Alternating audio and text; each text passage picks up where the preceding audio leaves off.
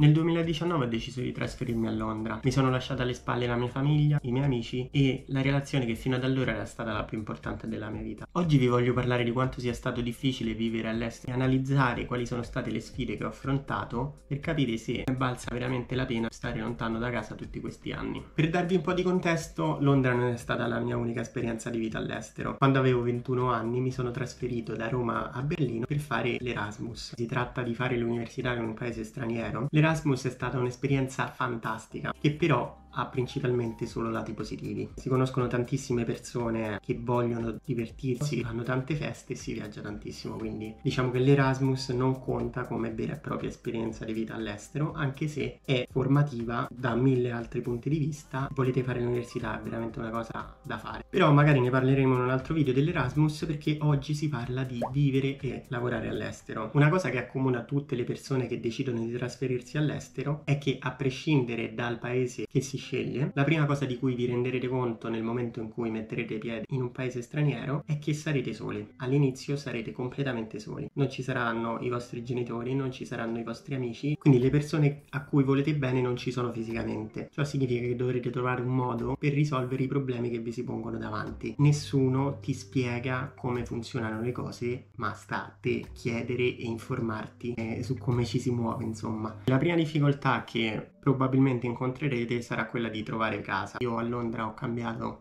5 case ed è stato molto molto stressante. Dovrete fare i conti con, almeno per Londra, una concorrenza altissima, dei prezzi alle stelle che non giustificano la qualità delle stanze in cui andrete. Dovrete fare delle interview magari con i conquilini per, diciamo, vedere se siete una persona affidabile e questo può mettere, può mettere veramente alla prova. Poi in questi giorni parlavo con i miei amici, ho chiesto quale fosse per loro la difficoltà più grande di vivere all'estero. Tanti mi hanno risposto risposto la nostalgia di casa, cioè chi gli manca la famiglia, chi gli manca gli amici e a chi ha lasciato una relazione sentimentale per, per trasferirsi. Con la famiglia diventa difficile riuscire magari a comunicare le emozioni, a, com- a raccontare la giornata perché diciamo ci viene travolti dagli impegni quotidiani, stessa cosa con gli amici. Se non c'è uno sforzo sia da parte vostra che dei vostri amici diventa veramente difficile mantenere lo stesso rapporto di prima. Non sto dicendo che non sarete più amici, però il rapporto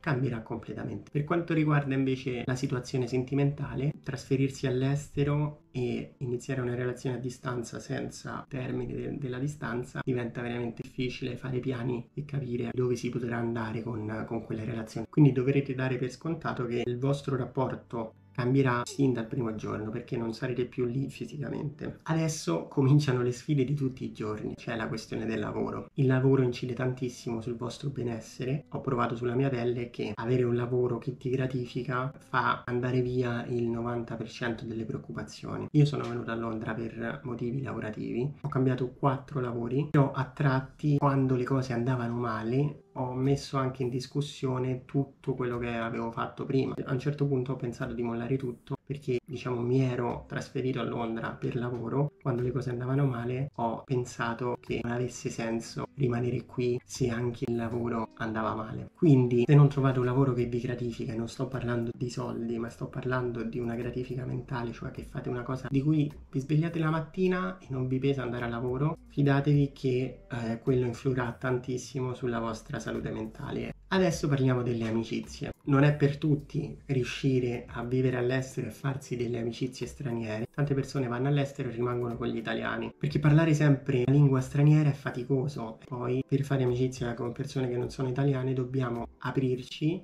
e capire che ci saranno sicuramente delle differenze culturali e essere in grado di accettarle se volete far funzionare quei rapporti. Una cosa molto difficile anche soprattutto all'inizio è capire la burocrazia, quindi siamo in un paese diverso, dobbiamo pensare da soli a come pagare le tasse, a iscriversi all'aire, fare un'assicurazione sanitaria oppure iscriversi dal dottore. Sono tutte cose che metteranno sicuramente alla prova e quindi se le vivete male possono creare problemi e confusioni. Vivere all'estero secondo me è un modo per scoprire voi stessi, capire cosa vi piace, capire di cosa avete realmente bisogno e scoprire diciamo fino a che punto il vostro carattere si può spingere, cosa potete sopportare e cosa no. Un modo per creare delle opportunità di cui magari non immaginavate neanche l'esistenza. Ovviamente ogni avventura, ogni esperienza è diversa. Ho dovuto crearmi un gruppo di amici nuovi, ho dovuto affrontare la, la, vita a Londra da solo, ho dovuto cambiare case, ho dovuto cambiare lavori. È stato sicuramente un'avventura non per tutti, ecco.